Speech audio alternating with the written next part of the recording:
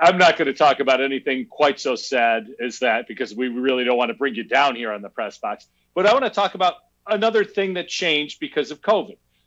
NCAA basketball, the bubble is going on right now, and we're in the final four, and everything's been fun to watch with that.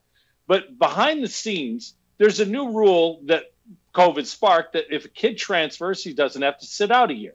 They enter the transfer portal, and then they can negotiate new con- or new scholarship, new contract, same thing with another school.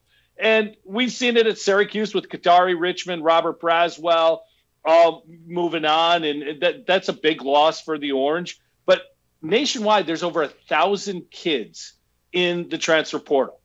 College coaches who love to control everything no longer can control these kids because you have a freshman who you're controlling and you're beating down every day in hopes of him being a great sophomore or junior. Well, guess what? That kid doesn't want to listen to you anymore because you're a tired old man and he's going to go somewhere else where somebody's maybe a little better. It's something that changed in college basketball. And if coaches don't change with it, they're going to be left behind as well.